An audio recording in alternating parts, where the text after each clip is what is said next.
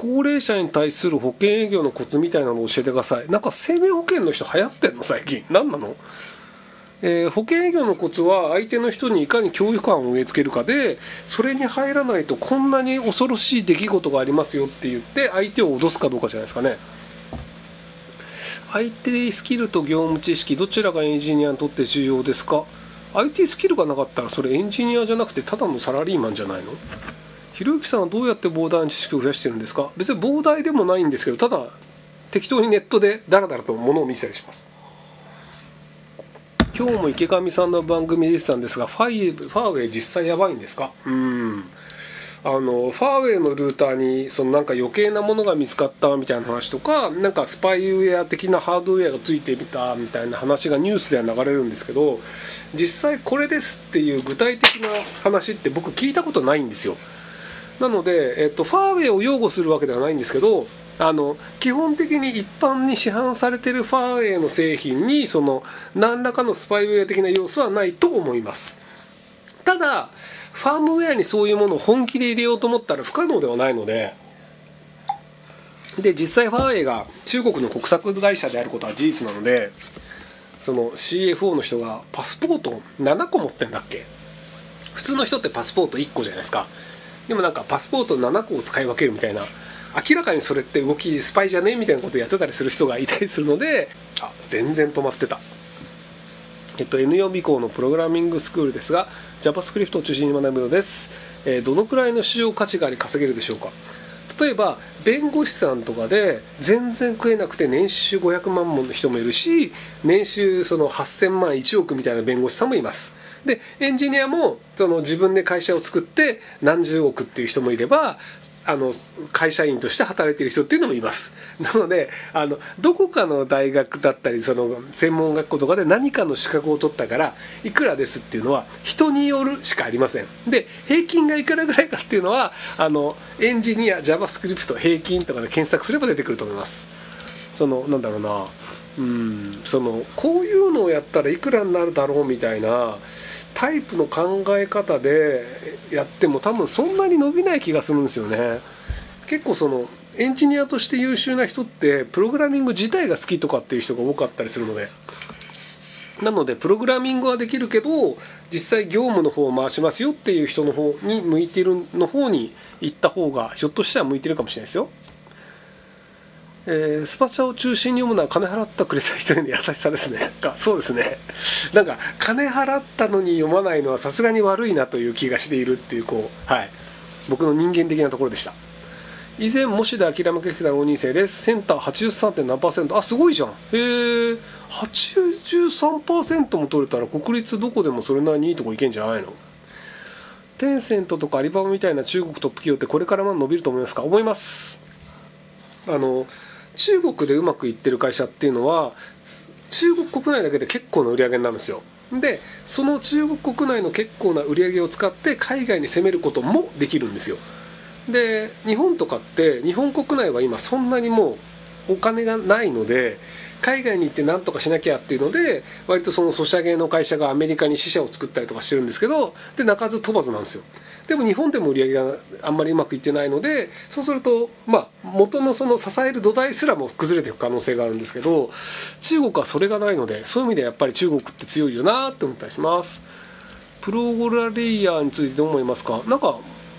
僕若い頃そんな感じで人にずっと送ってもらって食ってたなって思ったのであ懐かしいなっていう気で見ていますあの飲み会に呼ばれて僕そのお金払うって20代の頃からほとんどないんですよね。あの高校の頃は基本的に友達におごってもらってたしで大学の時は多分バイトしてたから自腹払ってたと思うんですけどなので多分大学の23年間だけなんですよね僕その自腹で何か飲み会でお金払うみたいなのって。えっとおごってくれるんだったら行くけどおごってくれないんだったら行かないっていう生活をずっとずっとしてきたのでなのでその昔からの知り合いと久しぶりに会うとかでない限りは基本的にお金払わないですね。FX や日経平均指数などの証拠金を予託し再決済取引で事務に資産を増やしています。定年まで正社員辞める気はありません。副業トレーダーとして目標金額を達成する前に心得ることがあればぜひお聞かせください。ああ欲をかかないってことじゃないですか？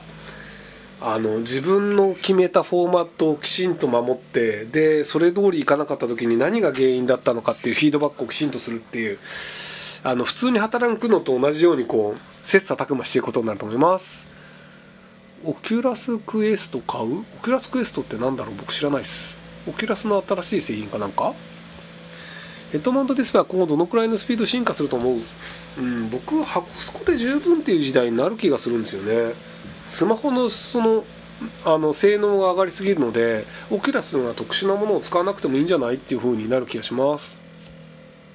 フォックスキャッチャーっていう映画僕見てないです。すいません。えー、総務省が各家庭企業の IoT 機器に無差別に侵入してサイバー攻撃対策が十分か不十分か洗い出す調査をする件について。あでも僕本質的にはこれ正しいと思いますけどねあの政府が不正アクセスするのはいかがなものかっていうのはそれは確かに法律論としてはそうなんですけどただそのパスワード0000でなんか売ってるようなルーターとかも世の中にあったりするのででそういうのを撲滅させるのは必要だとは思うので。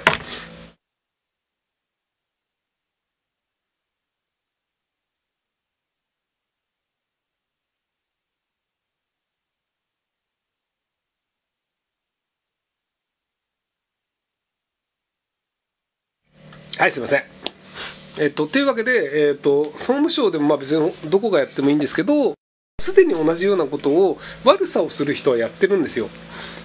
あのいろんな IP に向けてポートスキャンしてでなんかルーターっぽいなって見つかったら、まあ、デフォルトパスワードっぽいのをとりあえずバンバンって打ち込むと、まあ、それで通ったりするんですよ。っていうのでそのじゃあ通ったらそこをボット化して悪さに使うっていうのを世界中の悪い人たちがすでにやっているんですよ。なんであればその政府がそれをやって先に穴を埋めるっていうのは正しいかもしれないです。はい、本質的には僕はありなんじゃないかなと思ってます。ただそれをその一般の人とか IT の知識のない人が理解するかっていうとなんか政府の人たちがうちのルーターに勝手に入り込むなんて気持ち悪いみたいなじゃあそのセキュリティホール作んなよって話なんですけどっていうところでその嫌がられるんじゃないかなという気がしています。個人の外食と家庭料理をつなぐサービスを考えておりますが実現可能ですか？難しい点などありますか？食べ物を宅配するのかな？具体的にどういうビジネスなのかがわからないんですけどえーと、家庭料理をどこかであ提供していくような場所を店っぽいところでやるっていうところだと思うんですけどそうするとあの保健所の許可とかを取らなきゃいけないのでで飲食の許可を取るのって結構大変なんですよね。なのでそこら辺のあの消防署との取引をちゃんとやっていただけるとあの消防法に引っかかったりするのであと保健所とね。えーと、29歳無職です。親にヨーグルトメーカーを買ってもらったのにはどうプレゼンしたらいいですか？えっとヨーグルトメーカーを買わないでヨーグルトを作ればいいと思うんですよ。あのヨーグルトメーカーってその一定の温度をずっと維持してくれるものなので別に炊飯器でも作れるし鍋でも作れるんですよ。なのでそのヨーグルトを作るっていうのを一定期間やってでこんなにヨーグルト食わねえよっていうんだったらいらないじゃないですか。でヨーグルトって作ったことない人には分からないんですけど出来たてのヨーグルトって美味しいんですよ。時間が経てば経つほどヨーグルトってあの乳酸菌の酸味が強くなってくるのでなのでその酸味の少ない美味しいヨーグルトっていうのが毎日のように食べれるっていうことがあの自分にとって幸せとか家族にとって幸せっていうのがちゃんと伝わるようにすればまあじゃあそれだったらヨーグルトメーカー買ってあげるよってなるかもしれないです。お金を使わない生活のコツを教えてください。お金を持たないことです。だってなかったら使えないからね。中学から世田谷区にある成城学園に通っていてエスカレーターで成城大学に通ってるしょうもない人間です。あでも日本の総理大臣と一緒じゃないの？世間知らずと周りからよく言われますがアメリカの大学に通った方がいいでしょうか？いや別にいいんじゃないの。総理大臣になれるぐらいなんだし。世間知らずと言われてるけど夢は俳優っていうのってやっぱり世間知らずな気がするんですけどただ本当に俳優になった人はみんな世間知らずです。なので俳優になりたいんだったら世間知らずなのは当たり前だと思います。中国は覇権を握ると思いますか？はい。名首相ってどう思う？うん。ものすごく大変な中間管理職の人だと思っています。なんかさっさと諦めてやめちゃえばいいのにっていう気がしますけどね。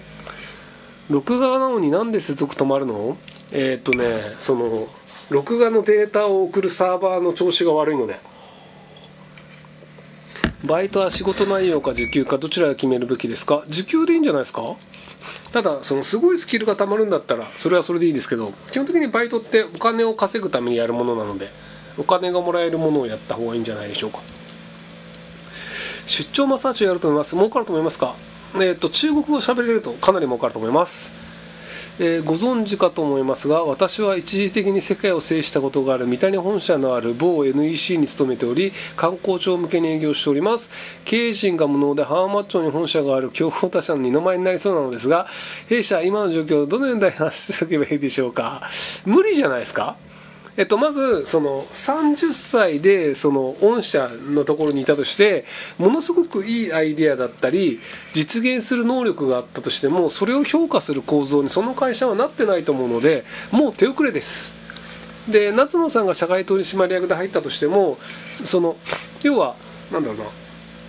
間違った判断をする多くの人たちが役員にいてその間違った判断をする役員の人たちが社長だったりとかそのまあその部長だったりとか選ぶわけじゃないですか。